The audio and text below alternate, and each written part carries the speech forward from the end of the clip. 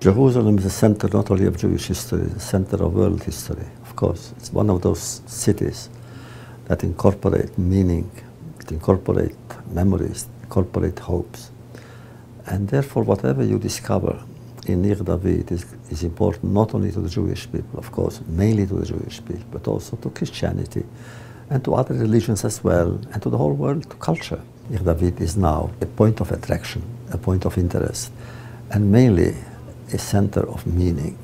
The work that you are doing there is so important, not for political reasons at all. It should never be politicized, but for, for other reasons, for cultural reasons, for, for reasons that, that go beyond politics, much beyond and transcend politics, for metaphysical reasons almost and historical reasons. Your place is an important thing. What you do there, you go deep down, not in the ground, deep down in history, 2,500 years back and it comes back to life. And now we can see literally the places where Jews, kings and prophets lived and spoke and worked and had their dreams. And all that is what you are doing. And for this, I think many people are grateful.